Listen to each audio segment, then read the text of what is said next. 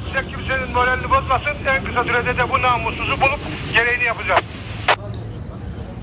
Kocaeli İl Emniyet Müdürlüğü ekipleri yeni yılın ilk dakikalarını sokakta görev başında geçirdi. Vatandaşların huzuru ve güvenliği amacıyla çalışmalarını ve denetimlerini sürdüren ekipler için polis telsizinden kutlama mesajı yayınlandı. İşlem yapılacağını da bilsin. Teşkilat mensuplarımız da moralini, motivasyonu bozmasın. Bu sırada telsiz kanalına giren şüpheli veya şüpheliler FETÖ propagandası yaparken İl Emniyet Müdürü Veysal Tipoğlu ilginç olayın ardından hemen araya girerek ekiplere seslendi. Tipoğlu kimse moralini bozmasın en kısa sürede bu namussuzu bulup gereğini yapacağız dedi.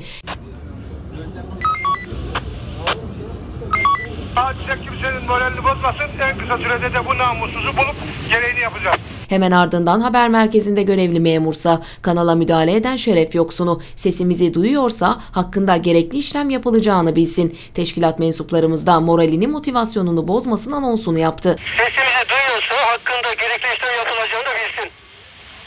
Teşkilat mensuplarımız da moralini, motivasyonu bozmasın. Sayın 33 onun emirleridir. Kocaeli polisi olayla ilgili geniş çaplı inceleme başlattı. Şüpheli ya da şüphelilerin yakalanması için çalışmalar sürüyor.